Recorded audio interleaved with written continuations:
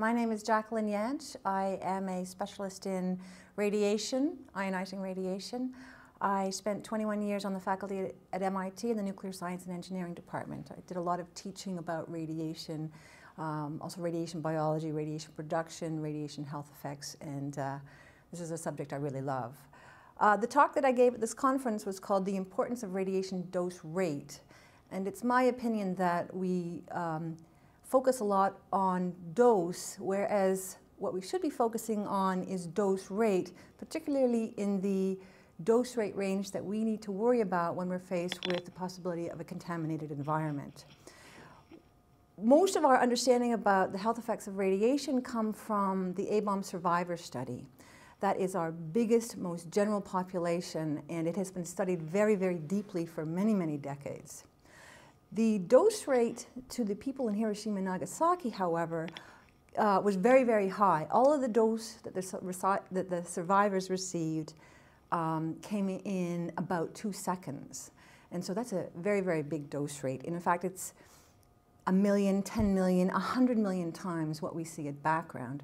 Whereas when we're making a decision as to whether or not to leave an environment, for instance, the 20 millisieverts per year that the Fukushima residents um, used as a trigger for when they evacuated, um, that's only eight times background.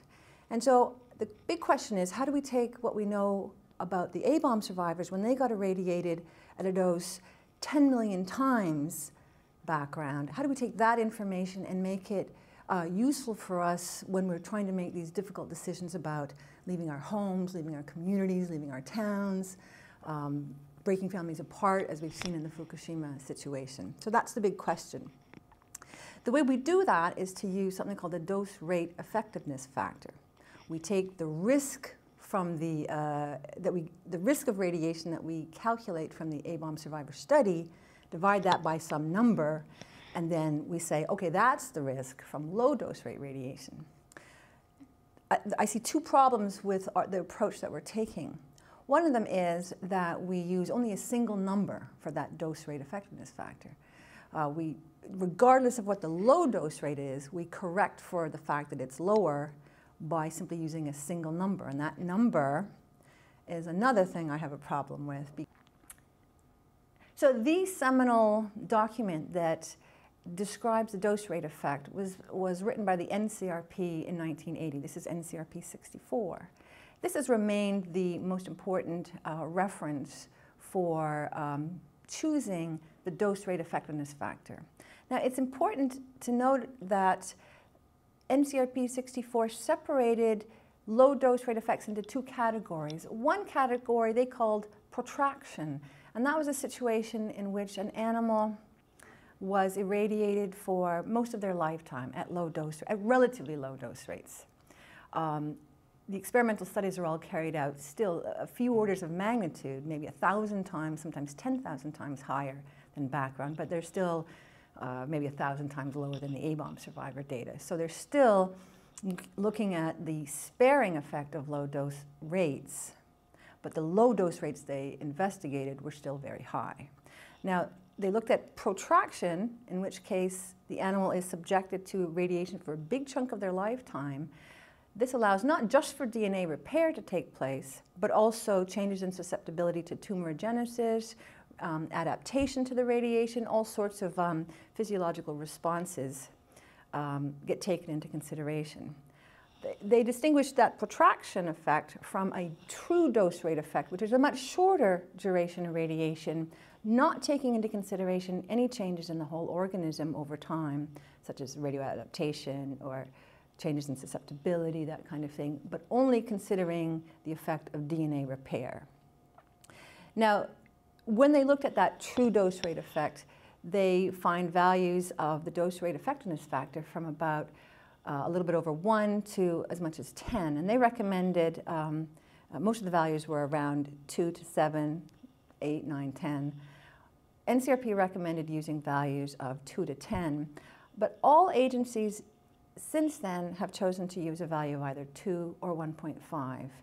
And in some cases, there are explicit explanations um, as to why they're using a low number, and namely to be uh, conservative. Now, this strategy has been used and implemented for uh, coming up with standards for radiation workers. Now, I think that is an inappropriate uh, value of the dose rate effectiveness factor for the situation when the dose rate's really quite low, a handful of multiples or 10 times background, maybe even up to 100, 200 times background.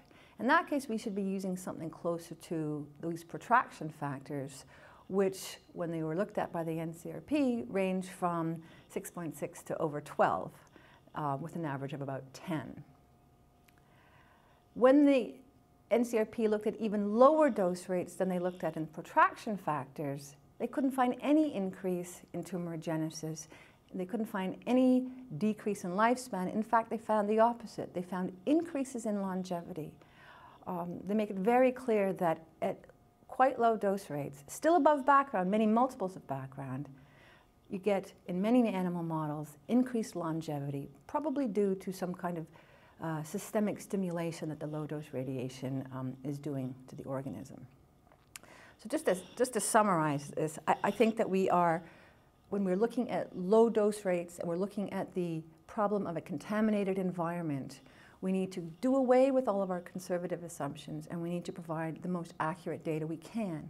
And by using a DREF, a dose rate effectiveness factor of only two, we are diluting the accuracy of the data that were reported in NCRP 64. And we are basically doing a disservice to the population that has to make a decision as to when to evacuate. Is it eight times background, or could we stay to perhaps 10, 20, 50 times background?